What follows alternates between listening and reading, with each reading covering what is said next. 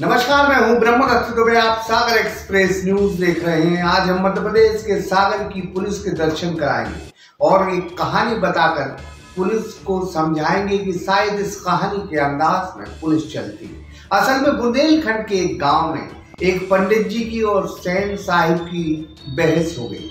बहस इस वजह से हुई कि पंडित जी ने कहा कि हम बीडी ब्रांच में काम करते हैं और आने वाली दीपावली में बीडी ब्रांच हमें बोनस देगी और उस बोनस से हम एक एटलस साइकिल खरीदेंगे। सैन साहब बोले कि हम, पंडित जी, आपकी साइकिल को पंक्चर कर देंगे।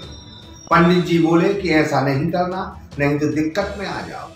सैन साहब फिर बोले कि हम तो आपकी साइकिल को पंचर कर देंगे। पंडित जी ने उठाई लाठी और सैन साहब की खोपड़ी फोड़ दी।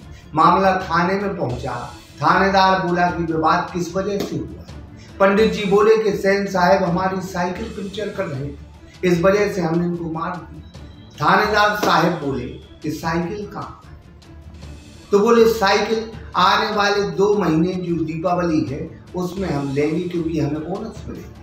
थानेदार साहब ने भी माथा पकड़ लिया कि साइकिल आई नहीं और ये विवाद छिड़ कुछ ऐसी ही तर्ज पर चलती है सागर पुलिस असलियत में सितंबर माह में चांदी का एक कांड हुआ था। मालथोन टोल प्लाजा पर कुछ पुलिस वाले पहुँचे थे। ढाई कुंटल चांदी का मामला था, जिसमें पुलिस गजब की रिश्वत मांग रही थी। बस सोशल मीडिया में ये बात वायरल हुई, एक सीसीटीवी फुटेज वायरल हुआ और फिर सतीश सिंह जो मोती नगर थाना प्रभारी थे, उनको निलंबित कर दिया। साथ में छह पुलिस वालों पर भी घास गिरी थी। इन तमाम चीज़ों से खा जा सकता है।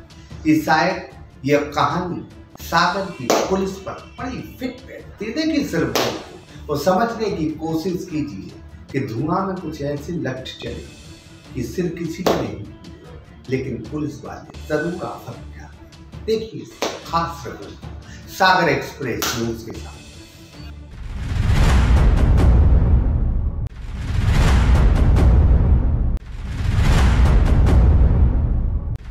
आजकल सोशल मीडिया जो करा है वो कम है। हम आपको उसी से जुड़ी मध्य प्रदेश के सागर ज़िले की एक चमत्कारिक घटना बता रहे हैं, जिसको देखकर सुनकर आप भी भोचक कर रह जाएँगे। सोशल मीडिया में मालथोन चेक पोस्ट में एक वीडियो बीते माह वायरल हुआ था, जिसमें कुछ सागर के पुलिस वाले दिखे, जो एक कार की तलाशी ले रहे हैं, उनसे पूछताछ कर रहे हैं। बाद में हल्ला हुआ कि ढाई कुंटल चांदी ललितपुर से सागर टैक्स चोरी करके लाई जा रही थी, जिसमें पुलिस ने भारी भरकम रिश्वत ले ली है। इस मामले का जोरदार हल्ला हुआ। जो इस मामले के जानकार थे, जो सोशल मीडिया में लिख रहे थे, उन्होंने तो मानो चांदी तोल कर ही बता दिया था कि ये गुरु दो कुंटल साठ किलो चांदी है और इसमें दस से पंद्रह लाख रुपए की रिश्वत का लोचा है। रोहित मोबाइल मकरोनिया का सबसे बड़ा मोबाइल शोरूम, जहाँ आपको मिलेंगे थोक एवं कम रेट पर मोबाइल तो आधार कार्ड लाएँ और पाँच मिनट में मोबाइल ले जाएँ। हमारा पता है, खाद गोदाम के बाजू से मकरौनिया चौराहा चांदी का आता पता नहीं था। बाकायदा घर घर चर्चा होने लगी कि पुलिस तो आजकल दूसरे थाने क्षेत्र में जाकर बड़ी वारदात कर रही है और 10 से 15 लाख रुपए ले रही है। चांदी का पता किसी को नहीं था, ना ही पुलिस को, ना ही व्यापारी को।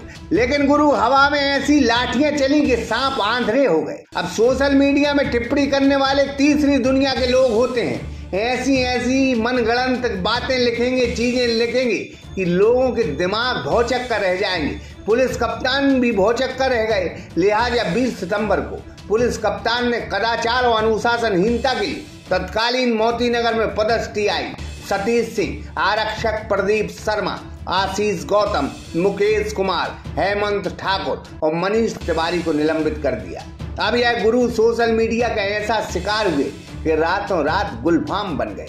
हालाँकि पुलिस कप्तान ने इन्हें चांदी के लिए नहीं, बल्कि कदाचार का दोषी पाते हुए सजा दी थी। अब सुना है, टीआई सहित सभी निर्दोष पाए गए हैं, सभी बहाल हो गए हैं। अब चांदी कहाँ गई भगवान जाने। इसकी जानकारी शायद नीचे वालों को नहीं है। हाँ ऊपर वाले सोना चांदी के बारे में सभी जानकारी रखते हैं। अब नीचे वालों की तरफ़ से क्लीन चिट है, ऊपर वाले, यानी भगवान रामचंद्र ही जाने।